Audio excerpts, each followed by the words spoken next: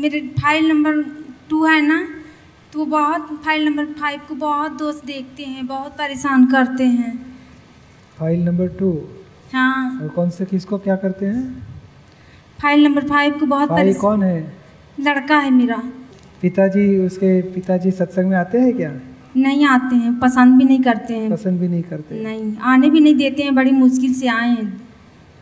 और बेटे को दादाजी की बात कुछ समझ में आती है क्या? कितनी उम्र का अठारह है? साल की नहीं हुआ है ना तो कितनी उम्र नहीं का है? हाँ? बेटा कितनी उम्र का है? सत्रह साल की है। सत्रह साल की है। हम्म। और आप बेटे को कभी ऐसा नहीं बोलने का तेरा बाप ऐसा ही है। बेट पिताजी का कभी नेगेटिव बेटे के पास नहीं बोलने का। और धीरे से बोलना बेटा पापा का ऐसा मत करो हाँ पापा का विनय में रहो। ऐसे धीरे से बोलने का। इस साल पास नहीं हुआ ना तो बहुत मारे थे पास नहीं हुआ तो? नहीं। पिताजी ने बेटे को मारा। बहुत मारे थे। वो पिताजी की गलती हो जाती है। ऐसे मारने की ज़रूरत नहीं उसको दूसरी बार परीक्षा में मज़बूत हो जाओ ट्यूशन अच्छा रखो मेहनत अच्छी करो निश्चय अच्छा करो मेहनत परीक्षा अच्छी दो वो सिखाना चाहिए। दुख देने से बाद में प्रेम टूट जाता है। फिर भी बोलो बेटे को बोलने का देखो आप मेहनत करोगे तो पापा को कुछ बोलना नहीं पड़ेगा। आप अच्छी तरह मेहनत करो दादाजी को हम प्रार्थना करेंगे आपकी परीक्षा अच्छी जाएगी अच्छा रिज़ल्ट आएगा पापा राज़ी हो जाएँगे। ऐसे थोड़ा थोड़ा समझा बटा के पापा के प्रति द्वेष कम कराओ बेटे हम कितना समझाते हैं पूजनी से तो हो सके तो बेटे को सत्संग में लेके आओ कभी। वो नहीं आने तो- के तैयार होते नहीं तो फिर हमारे जो अपतोपुत्र वहाँ जबलपुर आते हैं या हाँ। अपतोपुत्री कोई आती है हम्म। तो उनके पास बेटे को बिठाओ और समझाओ ज्ञान की बातें। वो समझेगा और थोड़ा थोड़ा शांति बढ़ेगी घर में। और आप प्रार्थना करो दोनों के लिए। हे दादा भगवान ये सत्संग बहुत प्रतिक्रमण करते हैं। और प्रार्थना करो प्रतिक्रमण और प्रार्थना। हम्म। और मुँह से बोलना किसी की गलती में मत बताओ। पति को ये बोलने की ज़रूरत क्यों बार बार डांटते हो? समझते क्यों नहीं? इसकी उसके पक्ष में भी मत रहो पति के पक्ष में भी रहो। बहुत- एक, इतनी भावना करने की और कभी बोलना होगा तो एक दूसरे को दुख मत दो एक दूसरे को नुकसान मत करो। शांति से मेरे सामने खूब लठिया से मारते हैं पूजनी श्री तो बर्दाश्त नहीं होता है मेरे से। उसको बोलने का ये ये लड़का हम हाथ से गवा देंगे। नहीं मारना चाहिए।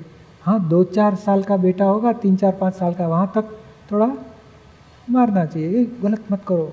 और बड़ा हो गया, अभी नहीं मारना चाहिए। नहीं तो घर छोड़ देगा, नहीं तो कुछ दफला कर देगा, या तो दूसरा कुछ गलत रास्ता पकड़ लेगा। पिताजी को बोलो कि, यानी पति को बोलो कि, जरा शांति से क्या काम लेंगे, और आप मेरे पे छोड़ो, मैं इसको समझाऊँगी, दूसरी परीक्षा अच्छी देगा। ज़रूर अच्छा रिज़ल्ट आएगा। ऐसे करके शांति में रहने को कुछ रास्ता करेंगे हम।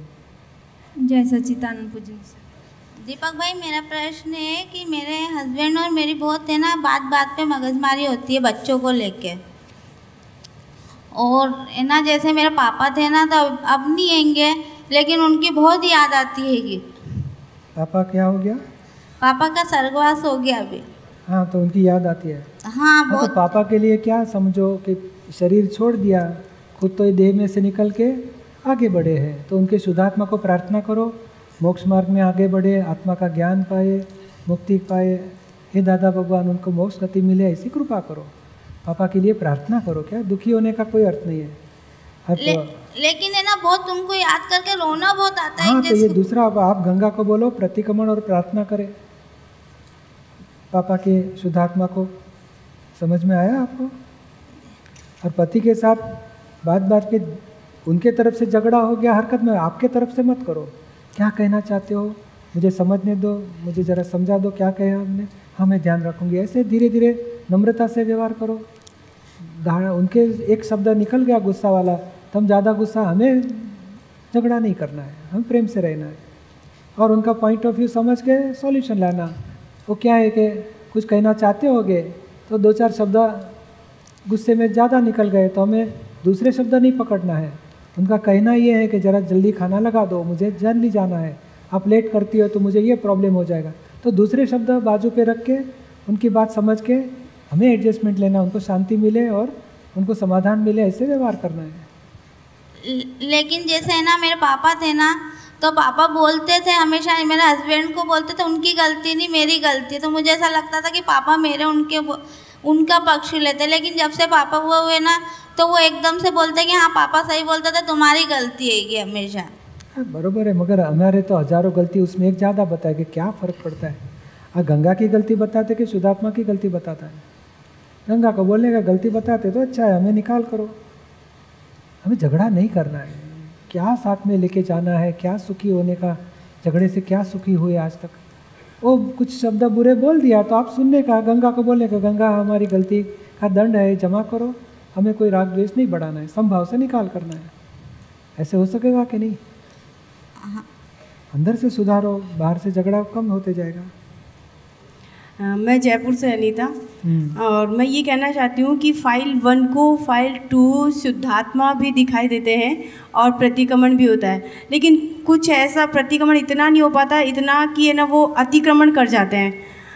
कुछ दिन में थोड़ा सा शांत रहते हैं फिर कुछ ऐसा कर जाते हैं कि अतिक्रमण हो जाता है बहुत ज़्यादा। और वो प्रतिक्रमण कहाँ गायब हो जाता है पता ही नहीं चलता।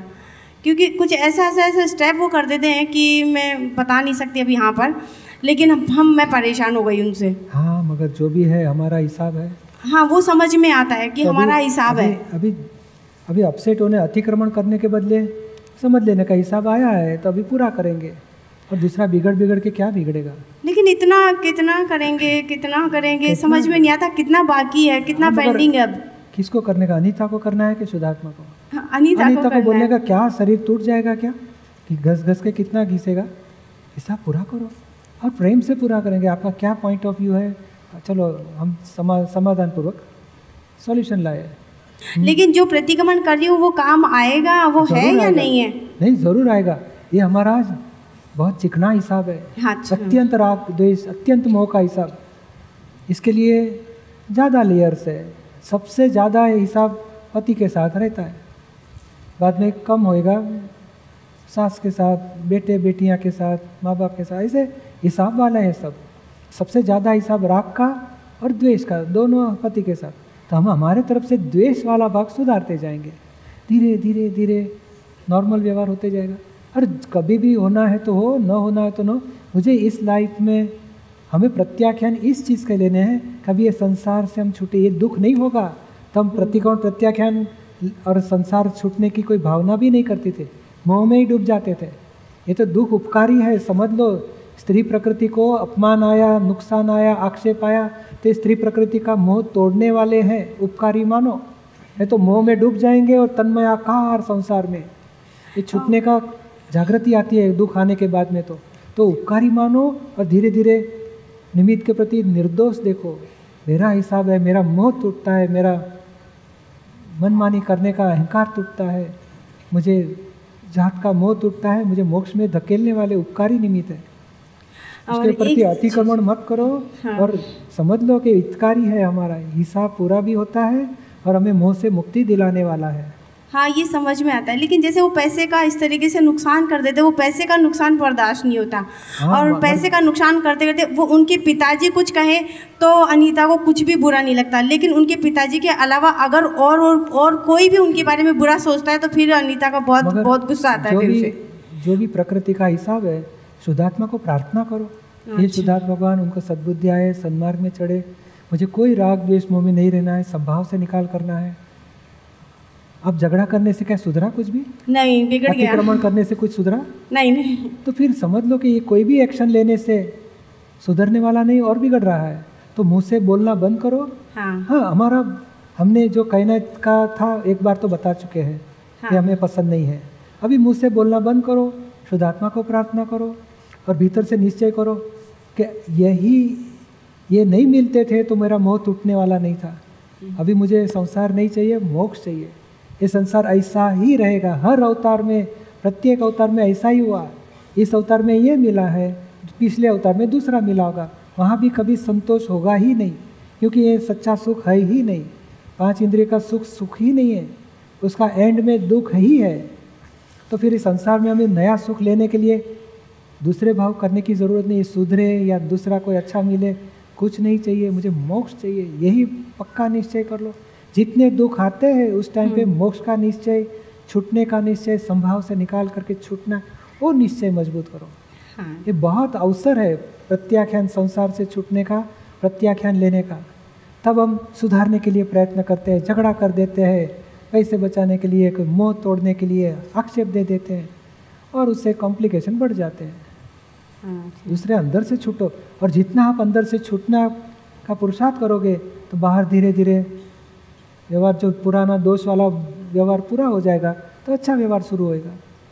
और ये है कि है ना उनसे मोह भी है बहुत है अनीता को लेकिन वो जो नुकसान जो करते हैं उससे द्वेष में बदल जाता है सब कुछ। इसके लिए तो मोह की तो कोई गुंजाइश ही नज़र नहीं नहीं, आती। प्रार्थना करो कि इनको सद्बुद्धि मिले गलतियों से छूटे और उनके भी हाथ में नहीं। देखो आपका कोई अनीता के ऊपर कंट्रोल है?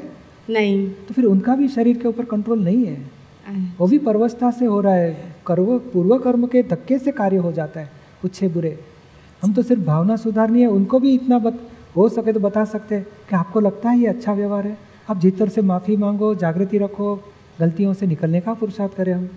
अच्छा। हम क्या आचरण सुधारने के लिए डांटते हैं झगड़ा कर देते हैं? हाँ और समझ उसकी समझ सुधारनी है उसके अभिप्राय बदलने हैं वो पार्टी बंद रह जाता है। ये क्या हुआ? स्विच चालू रखते हैं पंखे को बंद करने के लिए? लकड़ी लेते हैं झाड़ू मारते हैं और बंद होता ही नहीं आचरण बंद नहीं होएगा। समझ सुधरेगी तो कभी ना कभी आचरण सुधरेगा। तो समझ सुधारने के लिए प्रार्थना करने पे रिज़ल्ट आएगा। हाँ प्रार्थना और नॉर्मल बातचीत करो। हाँ ये गलत है आपको समझ में आता है। आप जागृति रखो निश्चय करो छूटना है तो शक्ति बढ़ेगी उनकी भी। ठीक है जय सचिदानंद। शीला अमरावती। मेरा प्रश्न ये है कि फ़ाइल टू लिखा है मैंने। ये तो वो प्रकृति है पुरुष की और स्त्री की। तो हमें उनके साथ एडजस्टमेंट लेने का। वो जब कभी क्रोध कर दिया कभी कुछ बोल दिया तो हम सुनने का और पॉइंट ऑफ़ व्यू समझने का। बाद में उनको अभिप्राय दे देते हैं ऐसे ही है हमेशा ऐसे करते हैं कितनी बार मुझे सहन करने का। हमारा अभिप्राय से हमारा सॉल्यूशन तो नहीं आता है हम डिस्टर्ब हो जाते हैं और उनको भी दोषित देखते रहते हैं हाँ। उसके बदले प्रकृति है भरा हुआ प्रकृति का माल निकलता है शुद्धात्मा जुदा है। बोलो अब थोड़ी देर के बाद वापस पूछने आप क्या कहना चाहते थे? हाँ। मुझे समझ में नहीं आया। हाँ वही बोलते कि मेरा गलत हुआ। हाँ तो दिल में पश्चाताप होएगा उनको। हाँ। और हमें भी उस टाइम पे नहीं बोलोगे तो शांति रहने से थोड़ी देर में नॉर्मल व्यवहार हो जाएगा। मैं कुछ भी नहीं बोलती वो आए हैं अभी यहाँ पे। तो बहुत अच्छा। तो उनको सब बात मिल जाएगी ज्ञान की। उनको आशीर्वाद दो पूज्यश्री हमको तीनों को तीनों भी साथ में आए हैं। हम बहुत अच्छा। हाँ आशीर्वाद विधि में दे ही देते हैं। ज्ञान में आगे बढ़े ज्ञान लिया है लेकिन कभी कभी उनका ये कम हो जाता। हाँ कर को नहीं प्रकृति भरा हुआ माल है ना। हमारा भी प्रकृति हमारे हाथ में है? नहीं फिर कभी नुकसान न हो जाए ऐसा हाँ पर नुकसान होने का भी हिसाब व्यवस्थित है और फ़ायदा होने का भी हिसाब व्यवस्थित है। नुकसान हो गया तो दोषित मत देखो। उनको आक्षेप मत दो। भाई हमारे से भी कभी हो सकता है। आपसे कभी ग्लास गिर के नहीं फूट जाता? हाँ। तो दूसरे से गिर के फूट गया तो डांटने की ज़रूरत नहीं है। तो मेरे से भी ऐसी गलती हो जाए। हम भी संभाल के रखेंगे हाँ ध्यान रखेंगे। हो गया कोई बात नहीं। हम तो- डांटते नहीं डांटते आप नहीं, पूछ लो। दिल- में दिल में नेगेटिव चालू हो गया कि नहीं? देखो कितना गलत करता है। ऐसा नहीं करना चाहिए। तो बुद्धि तो बताती है सामने वाले के दोष और वही दोष एक दूसरे के साथ भेद बढ़ाते हैं। प्रेम तोड़ देते हैं। भले मुँह से नहीं बोलते मगर मन में तो हाँ। गोलीबार चालू रहता है। मन में बहुत दुख हो जाता है। दुख नहीं द्वेष भी हो जाता है दोषित दिखता है। तो वही सुधारने की बात सिखाते हैं। नहीं समझ में आया? हाँ समझ में आया। आप आशीर्वाद दो पूज्यश्री के हम हर साल यहाँ पे आए हैं। एक, एक वाक्य हृदय में लिख के रखो जो भी सामने वाले के दोष दिखते हैं वो हमारे में देखो। जैसे आईना हम देखते हैं तो आईना में क्या देखते हैं? मैं कैसी दिखती हूँ? मैं बराबर हूँ। ये बराबर है, ये बराबर है। तो ये आईना है हमारा घर वाले। हमारे दोष दिखाने वाले उपकारी निमित्त है। आईना तोड़ डालोगे तो आप कभी प्योर नहीं हो सकोगे। आईना को तोड़ने का नहीं, आईना का उपकार मानने का। और आईना जो बताता है, नहीं, कान के ऊपर कुछ कचरा चिपका है तो हम आईना को हिलाने जाते हैं कि कान का, हमारा हाथ कान के ऊपर जाता है। ये आईना बताता है तो उधर नहीं तो ये शब्द बोलेगा तुम्हारा सुधारते नहीं मुझे कहते हो। हम तुरंत अटैक कर देते हैं। उसके बदले सुनो और अन शीला को बताओ कि शिला देखो अपनी कुछ गलती है ये जो बता रहे हैं हम हमारी गलती सुधारेंगे। तो फिर हमारी गलतियाँ कम होएगी हम मोक्ष की प्रगति करते हैं और व्यवहार भी प्रेम वाला हो जाएगा धीरे धीरे मोक्ष में आगे बढ़ने की शक्ति दो पूज्यश्री हमको हाँ ये रास्ते से चलो। जय सच्चिदानंद। हरिराम शर्मा अलीगढ़। आपके चरणों में सब सब नमन। हम्म, हम सात आठ महात्मा आए हैं तो कल हमारी वार्तालाप हो रही थी कि राग और द्वेष का सच्चा और सरल अर्थ क्या है? राग राग और और- द्वेष का जी सच्चा सरल अर्थ। अर्थ। हाँ। इस सब चीज़ों में किसी ने बताया हरिराम जी तो बहुत अच्छे आदमी है तो मीठा लगता है क्या? हाँ लगता ही है सर। और बोलने वाला अच्छा लगता है ना? वो कैसे लगेगा? बुरा बोलेगा। तो वो राग हो गया। वो राग हो गया। ये हरिराम तो बहुत निकम्मा आदमी है बहुत दखल करने वाला है इसको ये नहीं करना चाहिए सीधा करना चाहिए। हमें कान में सुनाई दिया तो क्या होता है? कौन बोलता है? कौन बोलता है? मुझे समझ मुझे पहचानता नहीं। अलीगढ़ में रहना भारी पड़ेगा तेरे को। तो वो द्वेष हो गया। सही बात है। तो अज्ञानता से राग द्वेष होते हैं। अज्ञानता मैं हरिराम हूँ अज्ञानता है। उसके लिए हरिराम को अच्छा कहा तो राग बुरा कहा तो द्वेष। और बाद में आगे बढ़ के मेरी वाइफ तो वाइफ को अच्छा कोई हेल्प करेगा? वाइफ के साथ कोई झगड़ा करेगा तो उसके प्रति द्वेष इनके पर राग है तो उनके पर द्वेष हो जाएगा। तो राग द्वेष यानी ये अच्छा मीठा लगता है वो राग है कड़ू लगता है वो द्वेष है। तो इसकी लिमिट है क्या सर कुछ? लिमिटेशन क्या बोले? लिमिट है क्या इसकी? भाई ये राग इतना लिमिटेशन यानी क्या है कि ज़ीरो होना चाहिए। हम हरिराम को मीठा लगेगा मगर हमें मीठा नहीं लगना चाहिए। कोई अपमान किया और हरिराम को दुख हो जाएगा भोगवटा आएगा। हमें भोगवटा नहीं आना चाहिए हमें जुदा रहना चाहिए। वो हमारा पुरुषार्थ। राग द्वेष में समभाव रखो। हरिराम को बुरा बोले तो भी आप द्वेष नहीं करना है। हरिराम को अच्छा कहे तो राग नहीं करना है। वो हमें पुरुषार्थ करना है समभाव रखना। कोई अपमान करे उसके प्रति द्वेष नहीं कोई सम्मान करे उसके प्रति राग नहीं। संभाव। हरिराम को मीठा लगेगा मान दिया तो अपमान किया तो कड़ू भी लगेगा। और आपको यह जागृति है हरिराम को कड़ू लगता है। और हरिराम का मोह अहंकार जल रहा है मान जल रहा है। तप करना अंतर तप। जुदा रखोगे तो अंतर तप बोला जाएगा। उसे मान की ग्रंथि टूट के खत्म होएगी। और ये पुत्र मोह और ये पुत्रियों के ऊपर जो मोह होता है इसमें कैसे एडजस्टमेंट ले सर परिवार में? वो हरिराम को रहेगा।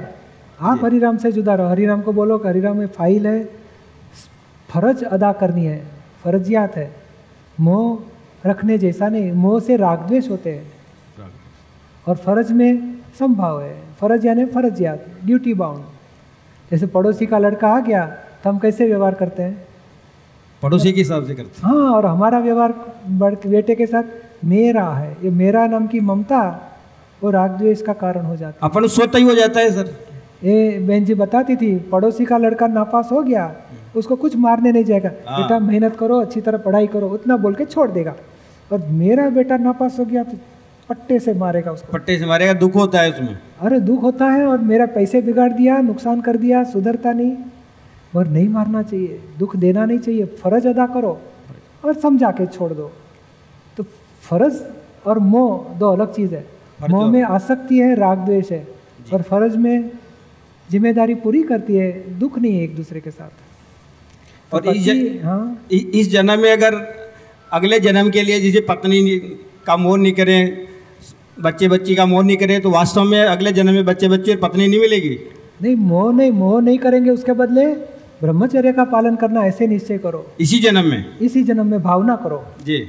भले पति पत्नी का व्यवहार रहेगा और भाव चेंज करो कि नहीं अभी फ़ाइल सब पूरी करनी है और सिमंदर स्वामी के शरण में जाना है मोक्ष गति जाना है और शुद्ध ब्रह्मचर्य पालन करना है और मन वचन काया जगत के कल्याण में वापरना है। तो फ़ाइल छूट जाएगी तो नया कोई मिलेगा नहीं। मेरे जैसा जीवन हो जाएगा आपका। बिल्कुल जय सच्चिदानंद। जय सच्चिदानंद। चंद्रशेखर चौहान जोधपुर से जी। बोलिए। अभी इन दिनों जब से ज्ञान लिया है तब से लेकर के आप जो बताते हैं कि मोक्ष नंबर एक मुझे ऐसा लग रहा है कि मेरे जीवन में वो मोक्ष नंबर एक आ गया है और किसी भी प्रकार की चिंता दुख परेशानी वगैरह इन दिनों में नहीं हो रही है। परंतु एक भय कभी कभी लगा रहता है जो मैंने लिखा भी है कि ऐसा लगता है कभी कोई और कुछ हो नहीं जाए हो नहीं जाए जबकि कुछ हो नहीं रहा है और बड़े मज़े से ज़िंदगी निकल रही है। तो इस भय को कैसे दूर करें? दादा भगवान को सौंप दो। हे दादा भगवान आपको समर्पण कर देता हूँ। व्यवस्थित में जो हो भले हो और जो भी परिस्थिति आए संभाव से निकाल करो ऐसे मुझे शक्ति दो। और आपको मैंने सौंप दिया। ये सब संसार का भार आपके चरणों में मैं रख देता हूँ। आपकी आज्ञा मेरे सर पे मैं रखता हूँ। मुझे शक्ति दो आज्ञा में रहो। पाँच बार बोलो रोज तो सब दुख चले जाएँगे। दया सहा भय भी चले जाएगा। आशंकाएँ बहुत होती थी अखबार वगैरह पढ़ते रहते हैं। कभी ये हो गया कभी वो दुर्घटना हो गई तो हमेशा ऐसे मन में नेगेटिव विचार आ जाते हैं कि कहीं अपने साथ ऐसा कुछ नहीं हो जाए नहीं नहीं कभी नहीं होएगा। अरे ज्ञान वाले के साथ तो बहुत, जो हमें पॉजिटिव भावना होती है, कल्याण की भावना होती है, दूसरे को सुख देने की भावना है, किसी को दुख नहीं देने की भावना है तो उसको दुख आने वाले भी, देने वाले भी कोई नहीं आएँगे। है ना? कोई बोझा ही रखने जैसा नहीं है कि मेरा क्या होगा। अभी तो हमारा तो होगा क्या? तो सिमंदर स्वामी के शरण में जन्म होगा और मोक्ष होगा। दूसरा संसार तो छूट जाने वाला है, उसकी गारंटी की बात है। है ना कोई भय रखने का नहीं, कोई शंका रखने की ज़रूरत नहीं है। ये पिछले पड़गे है, पड़घा, यानी पिछले इकोज है। प्रतिसाद बोलते हैं कि पहले पूर्व भाव में जो भाव बिगड़ गए थे, वो अभी मन बताता है। उसके बाद तेरी बात सुनी? दादा भगवान की कृपा से कुछ होने वाला नहीं। हमें निश्चिंत है, हमें खातरी है। दादा के शरणों में हम गए, हमारे दादा की कृपा से रक्षण है। ऐसे बोल के बाजू पे रख देने का मन के विचार को। मेरा लड़का और पुत्र वो तो भी आने वाले थे। और लड़का कभी कभी कोई काम करता है तो उसको मैं चेतावनी देता हूँ भाई देख ऐसे मत कर। तो वो ये बोलता है कि आप नेगेटिव बोलते हो और आप जो बोलते हो वैसे हो जाता है। नहीं उसको तो, बोलने का ख्याल में रखना बेटा। पॉजिटिव भी है नेगेटिव भी है। हम दोनों की तैयारी रखेंगे। और ख्याल में रखना उसको अनुभव करने दो। और देखो बड़े लोगों ने क्या करना चाहिए? वडीलों ने बुज़ुर्गों ने कि मेरे पास अनुभव है तेजे ज़रूर पड़े तो मुझे पूछना। और बच्चों लोगों ने क्या करना चाहिए? समझना चाहिए कि बड़ों के पास अनुभव का बहुत स्टॉक रहता है। कभी तकलीफ़ आ गई तो उनको पूछो। तो ये एक दूसरे के प्रेम से व्यवहार भी रहेगा और गाड़ी चलेगी अच्छी। हाँ हम क्या करते हैं? मैं तेरा बाप मैं इतना अनुभव मेरी बात क्यों नहीं सुनता? समझता क्यों नहीं? अरे नहीं सुनेगा। अनुभव करने दो। हमने कहा हमारे पिताजी की बात सुनी थी। अनुभव किया बाद में हम बड़े हुए। उनको भी अनुभव करने दो। अभी तो बहुत फ्रेंडली व्यवहार करते हैं। हाँ फ्रेंडली करो तो बरोबर है। अब फ्रेंडली में कोई आग्रह नहीं रहता है। उसको तो गलत करता है। ऐसे भी नहीं, देखो ये, आप ये लाइन पे जाओगे तो इतने इतने परिणाम आएँगे। आप ख्याल में रखना चेक कर लेना, जागृत रहना, ऐसे करके छोड़ देने का। धन्यवाद।